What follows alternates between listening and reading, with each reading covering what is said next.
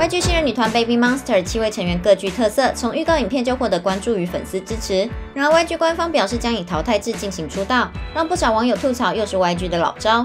即便如此，Baby Monster 淘汰生存秀 Last Evaluation 预告公开，仍旧吸引 K-pop 粉丝热议。教练们严格的批评和魔鬼训练，让 Baby Monster 成员在挫折中成长。虽然都是竞争对手，女孩们总是互相加油，但在最终评价时，Baby Monster 哭成一团，让人更加好奇，最后真的有人被淘汰吗？具有冲击性的预告引发热烈讨论。网友们表示，Baby Monster 真的很拼，希望大家可以一起完整出道啊！